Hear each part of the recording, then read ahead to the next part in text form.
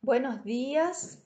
Hoy nos toca hacer un pequeño repaso de lo que son los números complejos.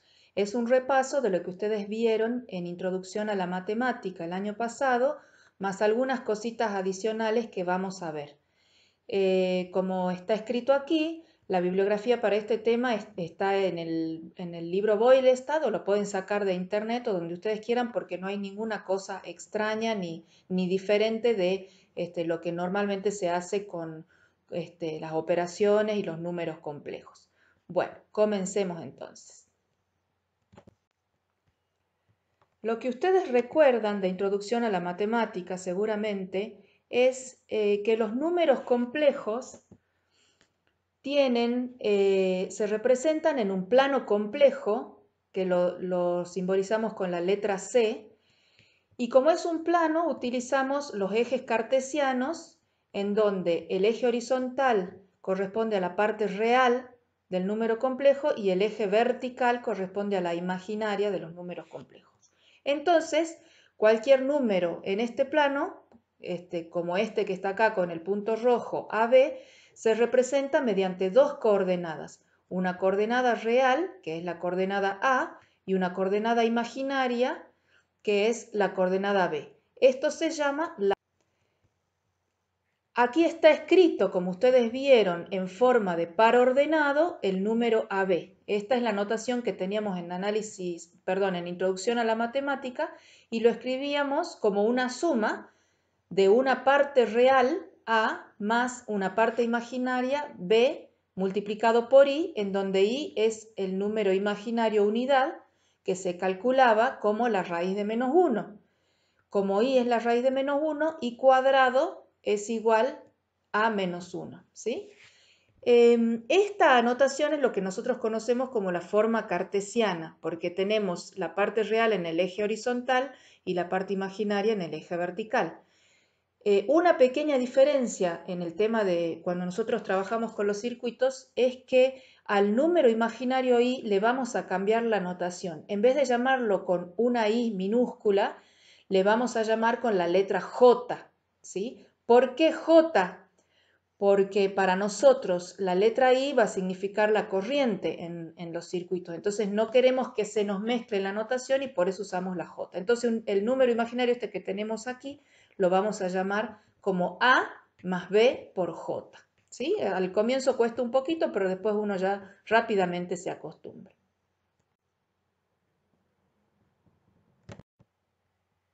Bueno, existe otra manera de representar a los números complejos.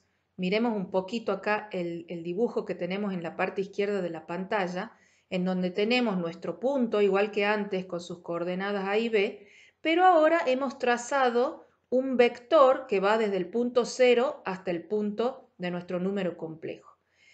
Esta forma de representarlo se llama la forma polar y en vez de utilizar A y B vamos a utilizar otras dos variables que van a ser tita, el ángulo, ¿sí? que es el ángulo que se forma entre el eje horizontal hacia donde está el vector, y el módulo, que acá lo hemos representado como el módulo de A, que es el tamaño o la distancia que hay entre 0 y el punto eh, complejo.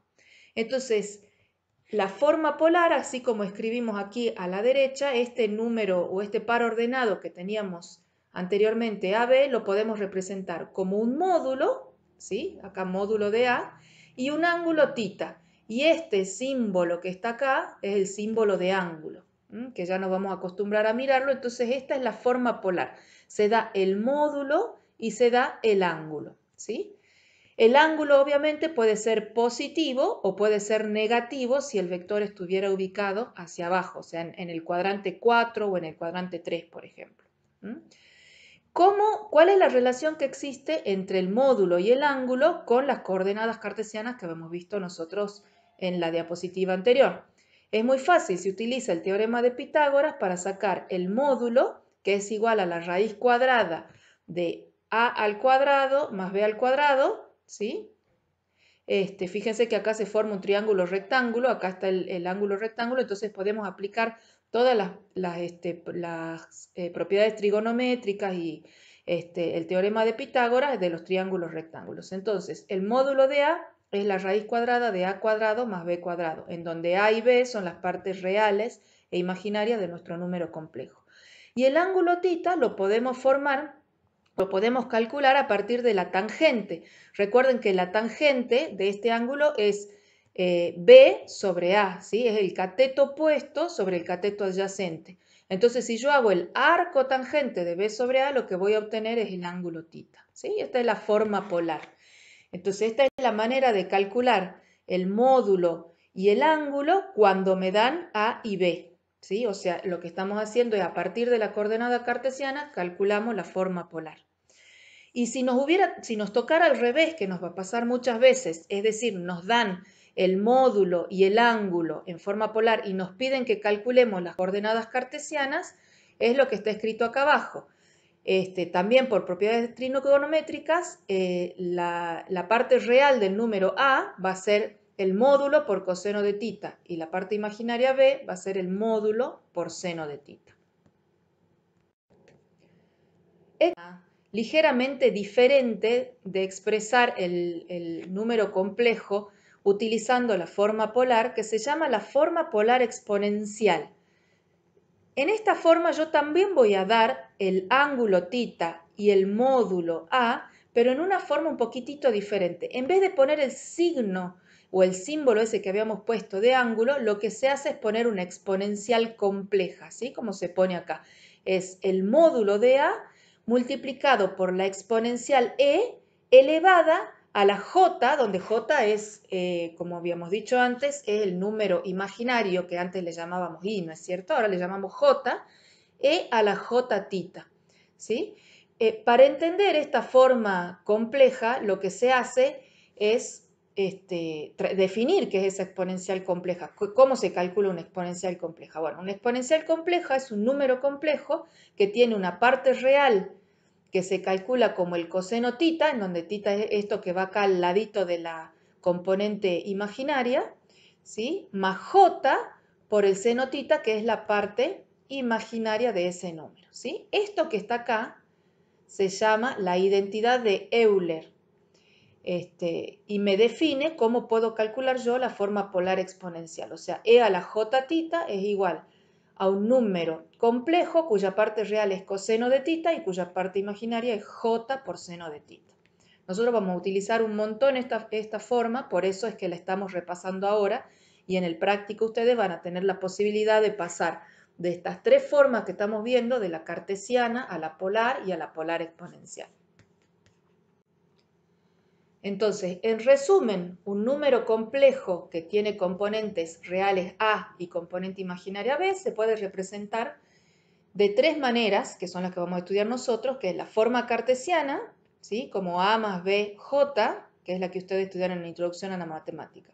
En forma polar, o sea, dando su módulo y su ángulo, y en forma polar exponencial, que es dando su módulo y su ángulo, pero utilizando la identidad de Euler.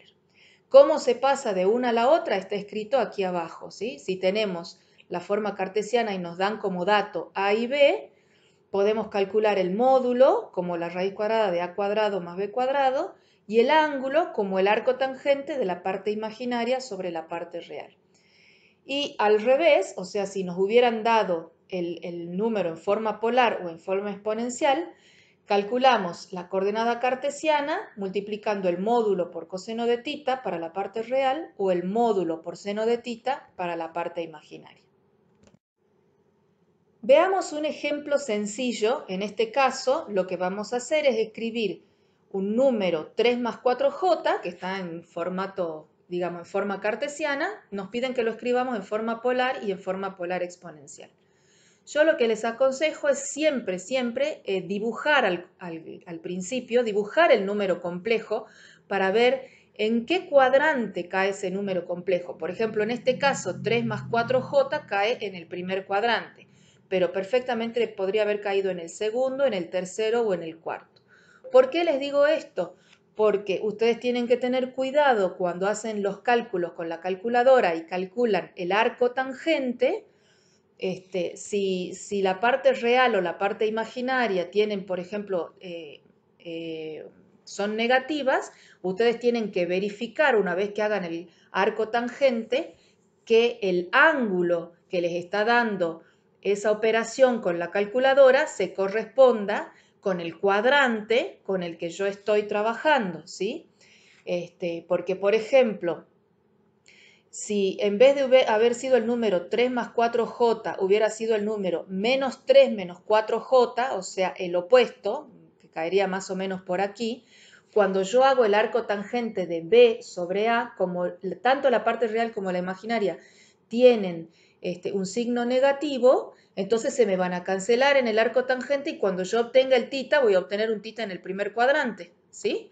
Entonces, como, como yo sé que, el, que en realidad mi número original estaba en el tercer cuadrante, lo que voy a tener que hacer es a este ángulo tita sumarle los 180 grados para que el número complejo me caiga efectivamente en el, en el tercer cuadrante, ¿sí? Bueno, y lo mismo puede pasar cuando me cae en el segundo cuadrante o en el cuarto. Este, hay que tener un poquito de cuidado nada más, al comienzo este, cuesta un poquito más, pero después ya uno se acostumbra y ya sabe si la transformación está bien hecha o no. De todas maneras, en el práctico van a tener varios ejercicios para que ustedes prueben con sus calculadoras y vean si este, realmente están calculando bien los, números. Bueno, volvamos entonces al ejemplo que tenemos acá. El, el número 3 más 4j en coordenadas cartesianas lo queremos escribir como un número en forma polar, es decir, tenemos que calcular el módulo y el ángulo que se forma entre el eje horizontal y ese vector que me marca el, punto complejo. El módulo ya sabemos este, que se calcula como, el módulo de 3 más 4j se calcula como la parte real al cuadrado más la parte imaginaria al cuadrado y, y sacándole la raíz cuadrada a todo eso. Entonces la parte real es 3, por eso me queda 3 al cuadrado, la parte imaginaria es 4, 4 al cuadrado, así que acá está la cuenta, es 9 más 16 y la raíz de ese resultado es la raíz de 25 que me da 5. O sea, este es el módulo correspondiente al número 3 más 4j. Y el ángulo lo calculo como el arco tangente de la parte imaginaria B sobre la parte real A, que en este caso, reemplazando, es 4 sobre 3, y cuando yo hago el cálculo con la calculadora me da un ángulo de 53,1 grados. ¿sí? Entonces, en forma polar, este número se podría escribir, este 3 más 4j, lo podría escribir como un número de módulo 5 y ángulo 53,1 grados. ¿sí?